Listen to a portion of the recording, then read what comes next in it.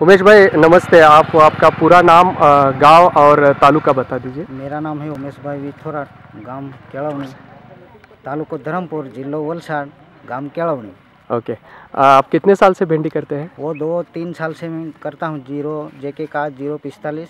अच्छा। तो उसमें कुछ मज़ा नहीं आती इसलिए मैंने वो छोड़ दिया। अभी दूधी है कारेला है ऐसा करता हूँ। अच्छा आपने वो अच्छा नहीं है बोल के पूरा भिंडी लगाना बंद कर दिया। हाँ। अच्छा और आपको ये जैसे आपने कनु भाई के प्लाट पे अभी पूर्णा और शुभा देखा हाँ। तो ये देखने के बाद आपको क्या लगता है? और एक बार भिंडी वो- करने को मन करता है? के बाद ऐसा मेरे को लगा कि अभी वो साल आएगा हाँ। कि मैं वो पूर्णा भिंडी करूँगा। पूर्णा भिंडी आप हाँ, करेंगे।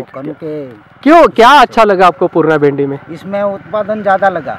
अच्छा। और वो इसका गाढ़ा आता है ना? डिस्टेंस अच्छा दो दो फ्रूट में का जो डिस्टेंस इंटरनोट डिस्टेंस नज़दीक हाँ। हाँ नज़दीक नज़दीक लगा। वो नज़दीक नज़दीक है तो उसका क्या फ़ायदा होता है नॉर्मली आपको? क्या क्या लगता है वो जो तोड़ आती है ना उत्पादन ज़्यादा होगा। अच्छा। जैसे आपने देखा वज़न भी अच्छा है। कनु भाई ने आज तक ये पूर्णा और शुभा दोनों भी आठ से नौ तोड़ किए हैं। हाँ, अभी तक तो इनको मार्केट में अच्छा रेट मिला फ्रूट क्वालिटी दोनों को भी अच्छी है। ठीक है? तो अगले साल आप ज़रूर पूर्णा लगाएँगे।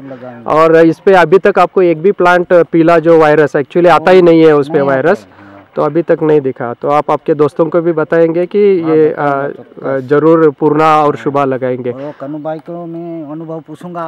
हाँ। करूँगा अच्छा।